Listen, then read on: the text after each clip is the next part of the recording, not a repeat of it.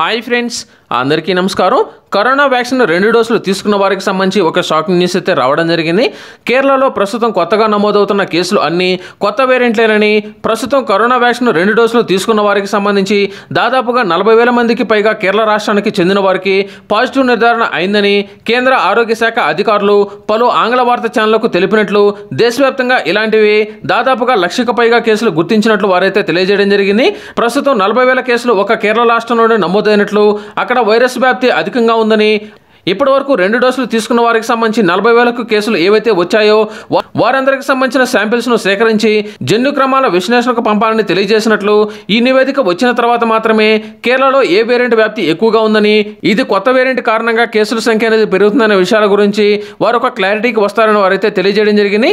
ఇక కర్ణాటక విషయానికి కనుక వచ్చినట్లయితే గడిచిన ఐదు రోజుల్లో దాదాపుగా రెండు వందల నలభై రెండు మంది చిన్నపిల్లలకు కరోనా పాజిటివ్ నిర్ధారణ అవడం జరిగింది.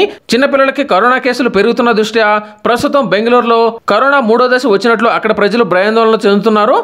అలాగే గడిచిన ఇరవై నాలుగు గంటల్లో కర్ణాటకలో కూడా భారీగానే కరోనా కేసులు అయితే నమోదవుతున్నాయి ఇక ఆర్ వ్యాలీ విషయానికి కనుక వచ్చినట్లయితే దేశవ్యాప్తంగా కోవిడ్ కేసులు తగ్గుముఖం పడుతుండగా కేవలం ఐదు రాష్ట్రాల్లో మాత్రమే ఆర్ వాల్యూ ఒకటి కంటే ఎక్కువగా నమోదవుతుందని కేంద్ర ఆరోగ్య శాఖ ఆందోళన వ్యక్తం చేయడం జరిగింది.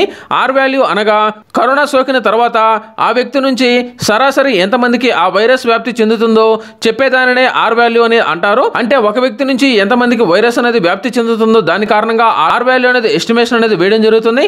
ప్రస్తుతం హిమాచల్ ప్రదేశ్ ఉత్తరప్రదేశ్ మధ్యప్రదేశ్ గుజరాత్ పంజాబ్లలో కరోనా వైరస్ వ్యాప్తి తీవ్రంగా ఉందని అలాగే ఆర్ వాల్యూ హిమాచల్ ప్రదేశ్ పంజాబ్లో ఒకటి పాయింట్ మూడుగా ఉందని ఇది పెరిగే సూచనలు ఉన్నాయని అలాగే ప్రస్తుతం ఆంధ్రప్రదేశ్ గోవా నాగాలాండ్ రాష్ట్రాలలో ఆర్ వాల్యూ ఒకటిగా ఉందని కేంద్ర ఆరోగ్య శాఖ జాయింట్ కలెక్టర్ రఘు అగర్వాల్ అయితే తెలియజేయడం జరిగింది.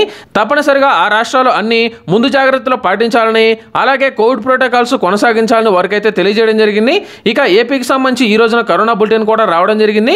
గడిచిన ఇరవై నాలుగు గంటల్లో డెబ్బై వేల ఏడు వందల యాభై ఏడు శాంపిల్స్ను పరీక్షించగా పద్దెనిమిది వందల యాభై తొమ్మిది మందికి కరోనా పాజిటివ్ నిర్ధారణ కావడం జరిగింది. గడిచిన ఇరవై నాలుగు గంటల్లో పదమూడు మంది అయితే మరణించడం జరిగింది. అలాగే గడిచిన ఇరవై నాలుగు గంటల్లో పదహైదు వందల డెబ్బై ఐదు మంది పూర్తిగా కరోనా నుంచి కోలుకోవడం జరిగింది. అత్యధికంగా ఈస్ట్ గోదావరిలో నాలుగు వందల రెండు కరోనా కేసులు అయితే నమోదు కావడం జరిగింది. అతి తక్కువ కరోనా కేసులు పం- పంతొమ్మిది కర్నూలు అయితే నమోదు అవడం జరిగింది.